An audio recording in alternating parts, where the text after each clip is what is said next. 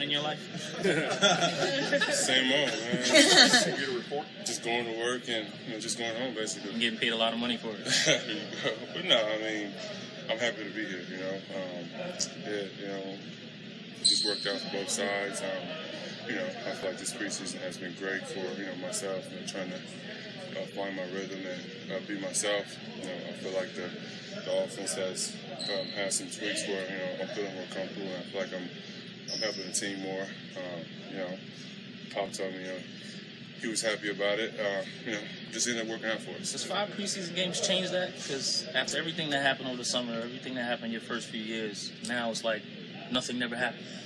Uh, I mean, you know, this this place is great. You know, it's a, uh, a great organization. You know, they do things, you know, the, the right way. You know, I feel like the the talks this summer were uh, very uh, constructive, and you know, it was kind of needed. You know, having a a heart to heart. You know, where you just you know just say how you feel, and I feel like. Pop's been great about you know the uh, things that I've said that you know I kind of needed or you know or wanted, and you know so far it's been great.